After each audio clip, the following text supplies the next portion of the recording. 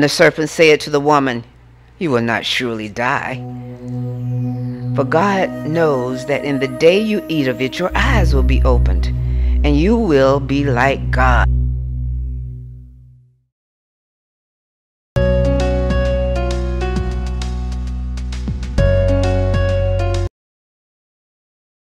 In a tree desirable to make one wise, she took of its fruit and ate.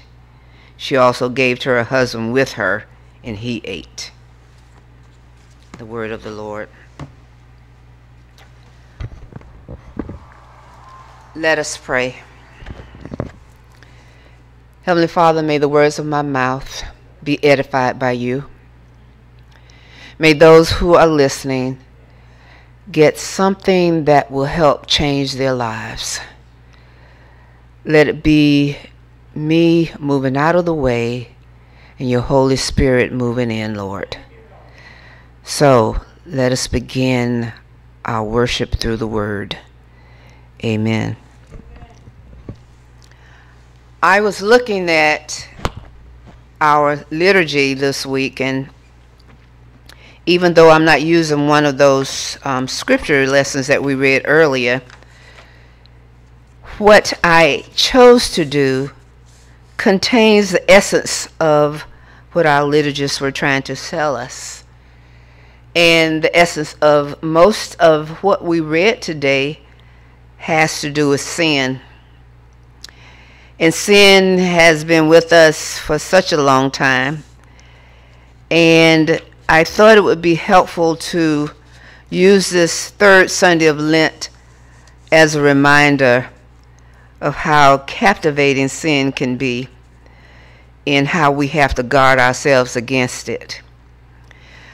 The title of my text is Redemption. And I hope that you will listen intently because this story has been told before, but I just want to reiterate some of what we know because oftentimes we need reminders. But before I go there, I'd like to share this little joke. And I heard it on a, a, a, Christian radio station one day, and I know I may not get it exactly right, but I want to share it anyway. Um, one day, Adam and God was walking in the garden one evening, and Adam turned around and he asked God, Why did you make Eve so pretty? And God said, So you would love her.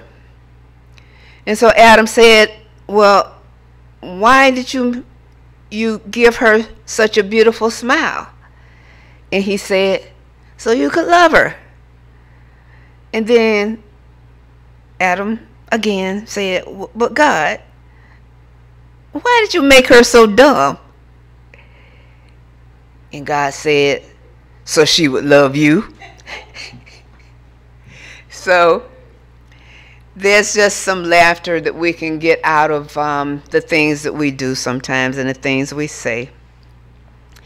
The Bible does have some wonderful moments. Even though we deal with sin from day to day and it confronts us from day to day, we can have joy in the knowledge of God's redemption. So, as we move to the text, in the Bible, y'all, we we we we sometimes find that there's limited information about women. And we see that the decisions that women made and the actions that women took in the Bible were very important, whether we hear about many of them or not. We hear about few of them all the women that we learn about were very important to salvation history. And so my text has a lot to do with the fact that this also is Women's History Month. And then I want I did not want to leave it without saying something about women. And so today I wanted to revisit the mother of all women, the mother of life, Mother Eve. You know, Eve had it all. Eve came into the world. She was God's gift to man. She was the best flower of the garden. She had it all. She had perfect peace with God, and she had perfect peace with her husband, Adam. And they were the only people in the planet. They lived in paradise. They had everything they needed. Eve never knew a moment of embarrassment. She never knew hurt. She never knew pain. She had none of these things in the beginning. I know y'all have heard the story over and over again. We heard it as children we hear it as adults, but I really need us to get back to it and understand exactly what happened. This is my version. Eve took her eyes off of God. She stopped looking to God for the truth. She even stopped looking to her husband for advice. She stopped looking at what good she had and she wanted more. She started looking at the good fruit she already had, and she thought that the grass was greener on the other side. Okay, we know who the next character is in this drama, in this Eve story, and that is the serpent. The serpent's last name is the father of all lies. Lies. He lies and he twists words. He misquotes. He spins his deceitful schemes. He did it then and he's doing it now. He's doing it now in greater numbers. So now, in this Eve story, we have this sneaky, conniving, and deceitful serpent. And Eve listened to him. This cold bellied, slimy, slick Rick serpent. Eve's first mistake was listening, y'all. She listened. She took time to hear him instead of running away. This prince of darkness cost her almost everything. Here, eat. Eve ate. Then she gave to Adam, and he ate. Sounds like evil to me. Listening to Satan who wants us to think about other things we have no business thinking about. Every time he gets in our mind and we start thinking the things that are not of God, and he's tempting us in our mind, we minimize things that are of God. Eve started looking at the forbidden. Mm-hmm. Y'all know the deal. She's always reaching. We we we always reaching for the forbidden. Mm-hmm. You know, we do this even when our conscience is screaming no. Yeah. We know somehow in our mind something ain't quite right. We get a little inkling of things, and we know when we are dealing with something we're not supposed to be. None of you here have done this, I don't guess, any time recently. You know, the serpent has all kind of tricks. And that is the first thing that he does do. He starts attacking us in our mind. He starts getting into our thoughts. He starts getting us to doubt. And that is the first thing that led Eve to question God's word start doubting what God had already told her was the deal. So, Now, have you ever done something or said something that changed your course of your life? Have y'all ever done anything like Eve that you wish you could take back? Well, we know every time we take our eyes off God, we blow it. Just like Eve did, Eve blew it. And we have these questions that we ask. We can ask, How in the world could a person who had all these good things going for them blow it? Eve's decision, y'all, to do her own thing led her to her own unexpected and painful consequences. She suffered some painful blows. That one decision takes her from paradise to the valley of loss and pain. It took its toll. It took its toll on her. It took its toll on Adam. And it took its toll on her entire family. It was a terrible, terrible blow that took place.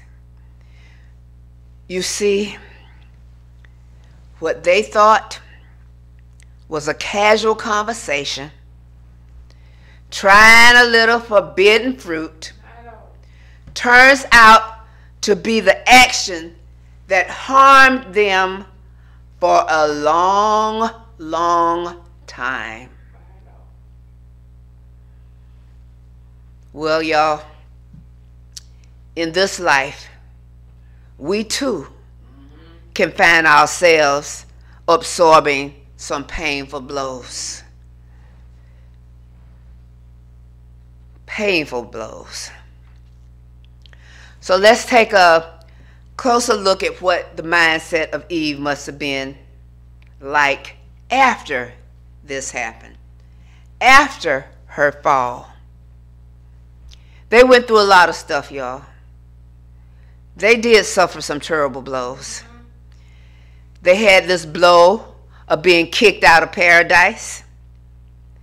They had this blow of being banished from the presence of Almighty God.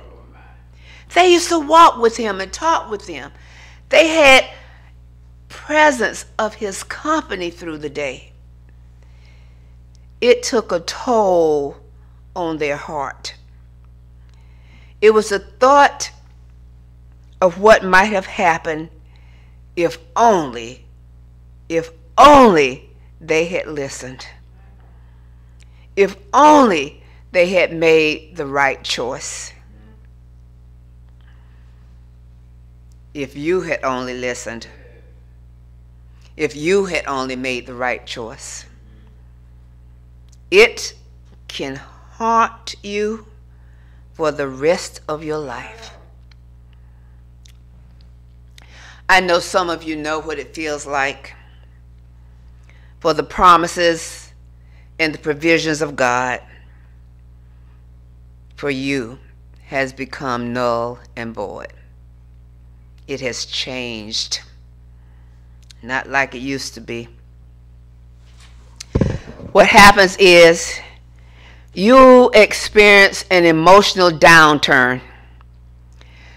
You go to a place of depression. You go to weeping till you can't weep no more. You move toward a, a, a type of what I'll call emotional bankruptcy. You're beyond yourself. You are beyond sorrow and you are beyond grief.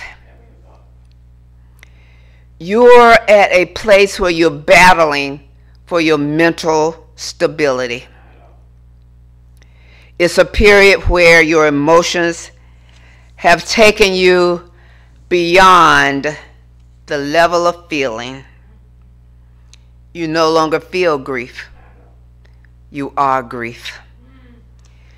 You no longer feel sad. you become sad. You no longer feel depressed. You become depressed. You, you, you enter the place that is beyond the emotion. You are no longer feeling shame. You are shame. And when you absorb too many blows at one time, it's more than anybody can be expected to bear. But what can you do in the midst of such blows? What can you do in the midst of such blows? The first thing is you must encourage yourself in the Lord. You must quiet yourself. You must think of all the things God has already done for you. You need to talk to God again and again. You need to moan to God if you can't do anything else.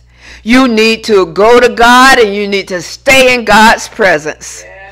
If you can't talk anymore, you can just say, Jesus, Jesus. You can tie a knot on the end of your rope and just hold on to it. You can call on God's strength when you don't have any more strength. It's no more hiding from God. You have nowhere else to go. You can't do anything but go to Him, no matter what.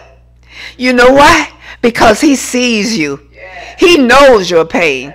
So you go to God and you learn that He will give you the strength to endure. Learn what the psalmists learned when they wrote Psalm 51. The psalmist said, Have mercy on me, God, according to your steadfast love. According to your abundant mercy, blot out all my transgressions. Wash me thoroughly from my iniquity and cleanse me from my sin. For I know my transgressions, and my sin is ever before me. Against you, God, against you alone do we sin and do what is evil in your sight. So you are justified, God, in your sentence, and you are blameless when you pass judgment. Indeed, we are born guilty. We are sinners when our mother conceived us but you desire truth in the inward being. Therefore, teach us wisdom in our secret heart. Purge us with hyssop, and we shall be clean. Wash us, and we shall be whiter than snow. Let us hear joy and gladness. Let the bones that you have crushed begin to rejuvenate and rejoice. Hide your face not from our sins, and blot out all our transgressions and our iniquities. Create in us a clean heart. Put a new and right spirit within us. And do not cast away us from your presence. And do not take your Holy Spirit especially from us. Restore us, God, to the joy of your salvation and sustain us and make us willing in our spirit. So let's go back to Mother Eve and think about all the things that she bore and all the life changes of being thrown out of paradise that she had to deal with. She had to sweat and toil. And she mostly had to bear the pain of her own treachery to God. How did she do it? I want you to listen to this. Eve gives birth again. She was grasping for something to ease her pain. She was clawing at this pain, wanting to feel whole again. And she comes to feel her child growing inside of her, feeling her. And she feels this newborn baby pressing forward for a way of escape. And you can hear the cries of the mother and child as they mingled like two streams flowing together. And Seth is born. She has lost two children, and God gives her newness of life again. And with this child cradled at her breast, you can see relief spreading across Eve's face. And Eve rests, and a smile forms on her face, and she breaks out in laughter for she had joy that came in the morning. And try as she may, she couldn't keep this joy down. I want you all to remember what Eve remembered. She remembered the brightness, and she remembered the voice, and she remembered the promise of God. God said, that despite her sin and despite her many griefs and despite her many sorrows, her seed, her seed would crush the head of that slimy, devious creature, the serpent. And so she can move on from that pain that God, in all his mercy, God, in all his grace, keeps his promise. He promised to Eve that Eve's offspring would destroy her enemy that tempted her in the first place. He'll not get away with a thing. He will be destroyed. God's got this, y'all. And we can all say hallelujah. Eve receives redemption. Eve receives new life. Glory to God, y'all.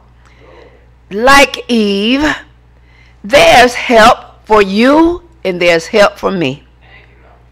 Think on this. Isaiah says it best God doesn't come and go, God lasts. He's creator of all you can see or imagine. He doesn't get tired. He doesn't get worn out by our sins. He doesn't pause to even catch his breath. And he knows everything we've ever done, inside and out. He gives power to the weak, and to those who have no might, he increases strength. Even the youth shall faint and be weary, and the young man shall utterly fall. But those who wait on the Lord shall renew their strength. They shall mount up with wings like eagles. They shall run and not be weary. They shall walk and not faint. Jesus, y'all, he allowed Eve to save faith. Eve saved faith despite her sin. Redemption has the same face yesterday and forever. The Lord does not change. Let us not give up when trials come our way. But most of all, let us treasure God's word in our heart so that we may not sin against him. I hope and pray that you remember that all God asks us to do is to believe in him and we have redemption. we have eternal life. We can find strength, peace, and joy in Him. Our Father God, who from the beginning of the fall of Eve, from the beginning of time, have our best interests at heart. Go to Him at all times, even when we sin. What a mighty God we serve. Amen. Amen those of you who have listened today. I pray you understand. Mm.